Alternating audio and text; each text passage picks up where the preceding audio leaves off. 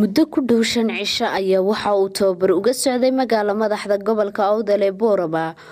haweenka ka howlgala warbaahinta gobolka awdal islamar ahaantaasina waxa uu ka socday tobabarkan hutaalka haldoor ee magaalada boorama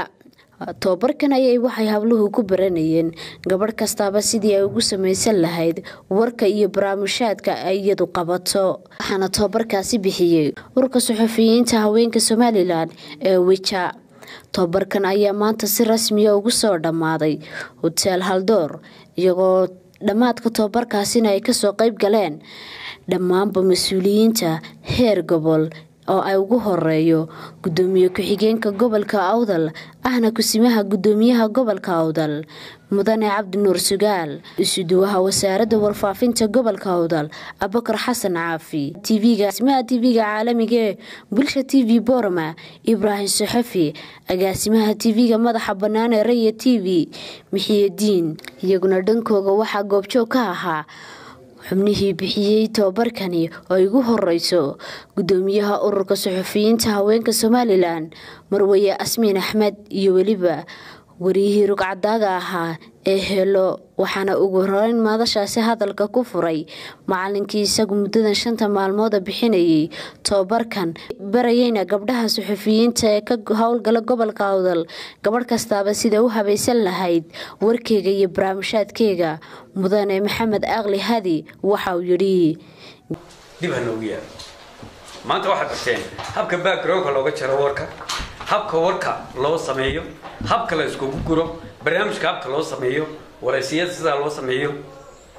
waxaan ku dardaarayaa maareeyayaasha tviyada afartii t v bayna joogaan ama shantii t v baan malaynayaa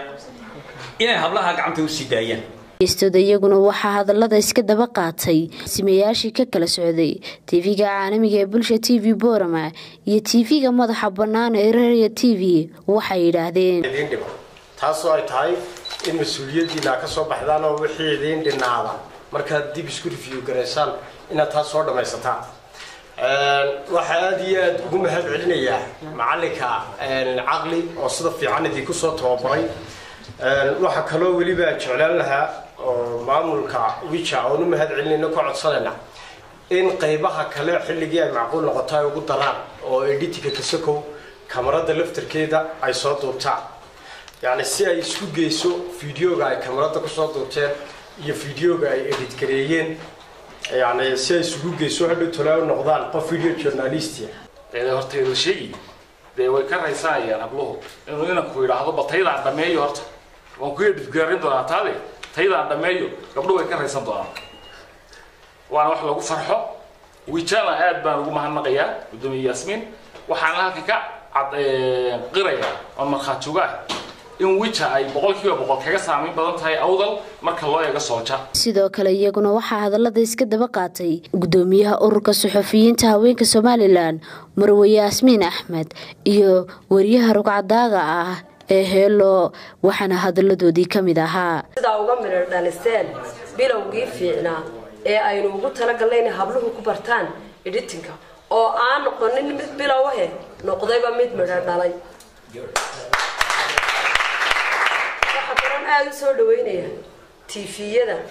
maamulayaashooda ama agaasimayaashooda iyaguna sida hagarla yidhi hablaha waanu u soo dhawaynaynaa ama waxaan ugu furaynaaba istuudiyayaasheedii. Idinkana aad baan idinku mahadnaqanaa la'aantiin. Hablahana maanu helleen waxna maanu barnayn aad baa umahadsantihi maanta